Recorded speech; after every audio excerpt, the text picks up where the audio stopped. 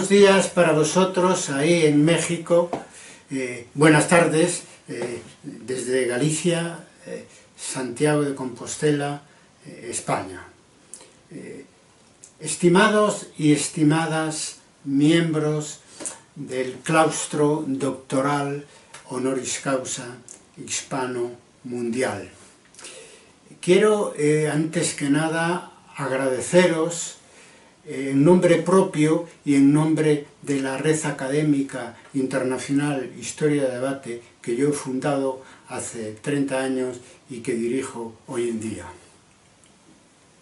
Agradeceros eh, la distinción honorífica que me habéis concedido de doctor, de doctores honoris causa en arte y cultura mundial, así como el nombramiento que acepto eh, encantado de vicepresidente eh, segundo de nuestro ilustre eh, claustro doctoral hispano-mundial que comienza su andadura eh, casi en estos momentos.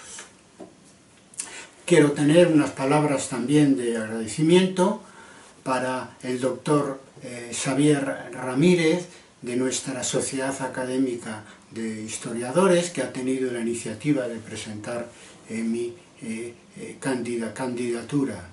Y manifestar mi gusto y, y honor y orgullo de compartir esta distinción con figuras de la talla de Elena Poniatowska, como todos sabemos, y más vosotros los mexicanos, una, escritora y periodista de nuestro tiempo ejemplar, ejemplar para México y ejemplar para el mundo revuelto en el que vivimos.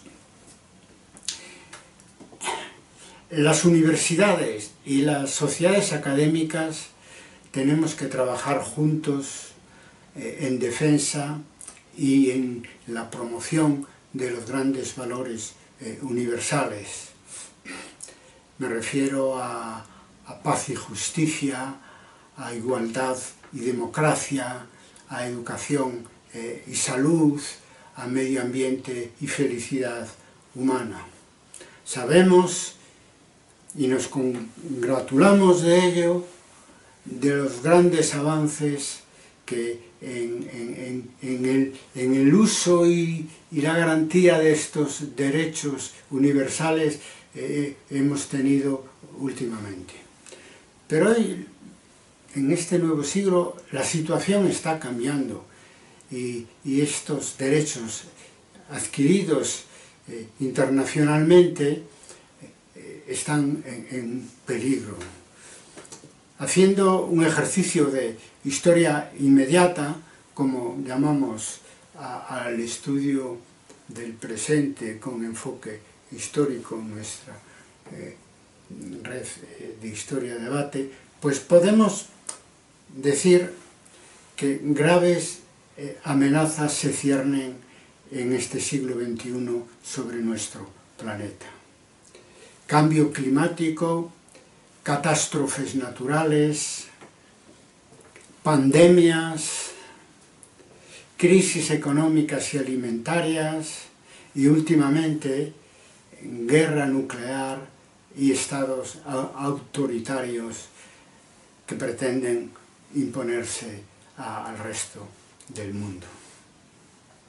Eh, humanidades y ciencias sociales para contribuir a conjurar estos grandes peligros, debemos seguir el ejemplo de nuestros eh, colegas investigadores de las ciencias de la naturaleza y de las ciencias de la salud, que han dado un ejemplo maravilloso, inédito en, la historia humana, de combatir con su trabajo de investigación y con su dedicación eh, a, la, a, a, vencer el, el COVID-19, eh, tanto en el ámbito de la prevención como en el ámbito del tratamiento.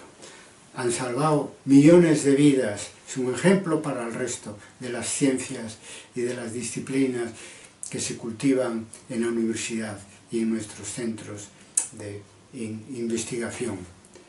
Para cumplir esa tarea es necesario evitar eh, la endogamia, evitar el aislamiento académico, que nada o poco nos, nos favorece y que en nada o en poco favorece a la sociedad que financia nuestras investigaciones y la enseñanza superior. Unámonos en las grandes avenidas por donde marcha esa humanidad de Oriente hoy en día. Ayudemos a convencer a los políticos desde las ciencias del pasado, del presente y del futuro para que se convierta la Organización de las Naciones Unidas en lo que debe ser un gobierno mundial democrático, con atribuciones no solamente consultivas, sino ejecutivas.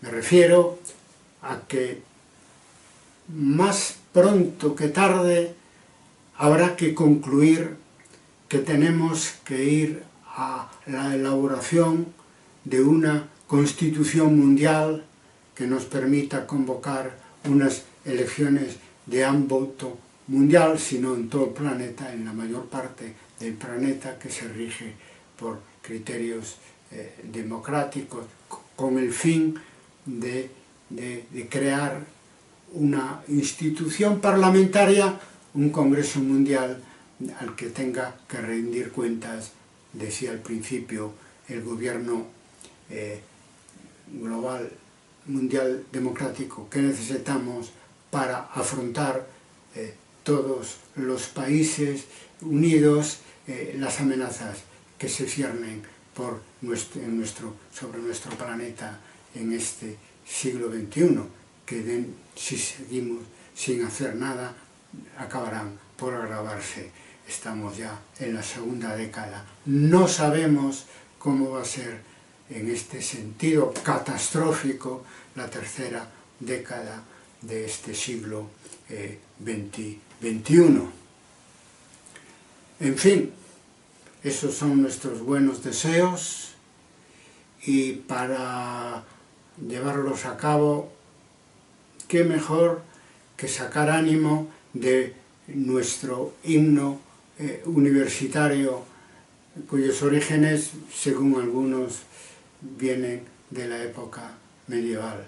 Me gusta especialmente una estrofa que dice Viva nuestra sociedad, vivan los que estudian, que crezca la única verdad, que florezcan la felicidad y la prosperidad.